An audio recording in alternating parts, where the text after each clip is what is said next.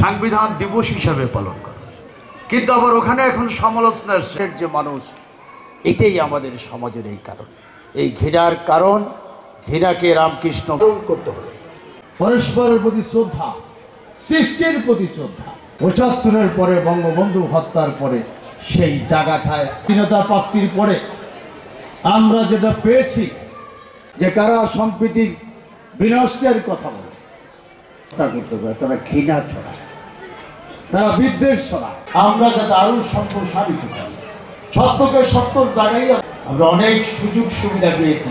আমরা সেই কথাগুলো কিন্তু ভুলি না। ছিল ভারতের স্বীকৃতি, না ছিল বাংলাদেশের বাংলাদেশে সকল ধর্মের সহাবস্থানের জন্য সংবিধানে ধর্মনিরপেক্ষতা প্রণয়ন করতে হবে। তাই তিনি সংবিধানের মূল স্তম্ভ বাংলাদেশের জাতীয়তাবাদ, গণতন্ত্র সমাজতন্ত্র এবং ধর্মনিরপেক্ষতা প্রতিষ্ঠিত করে গিয়েছিলেন। প্রকৃতির নিয়মেই পৃথিবীতে বারবার মন্দা আসে, যেটাকে ইংরেজিতে রিসিশন বলা হয়, এবং বিশ্ব সেই মন্দাকে কাটিয়ে আবার নতুন করে জীবন শুরু করে। আমরাও এই বিশ্বে বাংলাদেশ অনেকগুলো মন্দা মোকাবিলা করেছে। যখন পাশ্চাত্য এবং ইউরোপ, আমেরিকা দেশে মন্দা সৃষ্টি সে সময় কিন্তু আমাদের মন্দা স্পর্শ করতে পারে নাই। মাননীয় প্রধানমন্ত্রীর নেতৃত্বে, বাংলাদেশ আওয়ামী লীগ সরকারের নেতৃত্বে সেই মন্দা মোকাবেলা হয়েছে।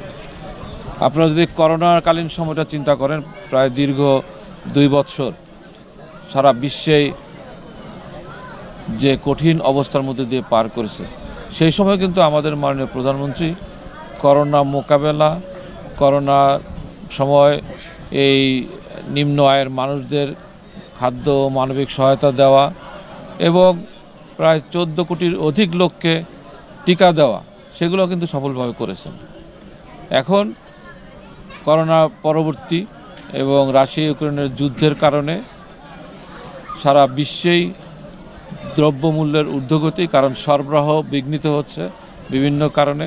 সরবরাহ বিঘ্নিতের কারণে দ্রব্যমূল্য ঊর্ধ্বগতি এবং এই পরিস্থিতিকে মোকাবেলা করার জন্য মাননীয় প্রধানমন্ত্রী তার মন্ত্রিসভা তার সরকারকে নিয়ে সর্ব- সর্বাত্মক কাজ করে যাচ্ছেন এটা মোকাবেলার জন্য। এবং ইতিমধ্যে আপনারা অনেক কাজ দেখেছেন যে একেবারে বিলাসী সামগ্রী রপ আমদানি কমিয়ে দেওয়া বন্ধ করে দেওয়া হয়েছে। তারপরে যে সমস্ত দ্রব্য আমদানি না করলেও চলে, সেগুলো আপাতত একটু রেস্ট্রিকশন দেওয়া হয়েছে। বিদ্যুৎটাকে লোডশেডিংয়ের মাধ্যমে বিদ্যুৎ ব্যবস্থাপনা সফলভাবে করেছেন এবং জ্বালানি তেলের উপর যে চাপটা ছিল সেটাও কমিয়ে আনতে সক্ষম হয়েছেন। আমরা আশা করি যে রাশিয়া ইউক্রেন যুদ্ধের সমাপ্তির মধ্যে দিয়েই বিশ্ব আবার আগের অবস্থায় ফিরে যাবে। মাননীয় মন্ত্রী মহোদয় কিন্তু আমাদের দেশের মানুষ তেল চাউল ডাল এগুলি কিনতে হিমশিম খাচ্ছে। এই বিষয়ে আপনারা কি উদ্যোগ নিচ্ছেন? বিশেষ করে বর্তমান বাজারে এক বস্তা চাউলে তিনশো চারশো টাকা বাড়তি আপনারা দেখছেন যে তেল দুইশো টাকা। টিসিবির অনেকগুলো আউটলেট খোলা হয়েছে সেখানে অনেক কম মূল্যে খাদ্য সরবরাহ করছে। এটা কিন্তু আমাদের দরিদ্র মানুষের জন্য অনেক কাজে দিয়েছে। এছাড়া খাদ্য মন্ত্রণালয় ওএমএস সার্ভিস চালু করেছে তিরিশ টাকা কেজি চাল। আহ, দেওয়া হচ্ছে। এবং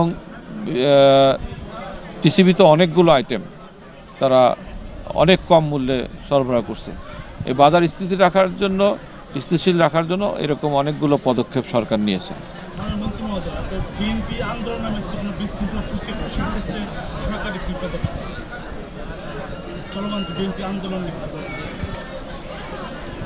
বাংলাদেশ আওয়ামী লীগ একটি নির্বাচিত গণতান্ত্রিক সরকার।